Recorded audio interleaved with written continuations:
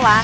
No dia 18 de julho, a presidente do tribunal, desembargadora Sara Brito, se reuniu com o secretário de Educação do Estado, Oswaldo Barreto Filho, para solicitar o apoio da secretaria no projeto de recadastramento biométrico na Bahia.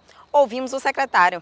É uma honra para a gente aqui da Secretaria de Educação receber a doutora Sara Brito, a equipe do TRE, para é, discutir a possibilidade de apoio da Secretaria no processo de recadastramento para a introdução do sistema biométrico é, em municípios baianos. Quer dizer, isso a Secretaria ela se sente assim, muito alegre em poder ajudar nesse processo, que vai colaborar no que for possível para o sucesso dessa empreitada. Certamente esse é um trabalho que consolida o processo democrático das eleições no Brasil, que hoje coloca o Brasil na ponta, no mundo inteiro, em termos de processo eleitoral célere, sem problemas, sem máculas, e é isso que eu acho que no final a gente está colaborando com a democracia brasileira.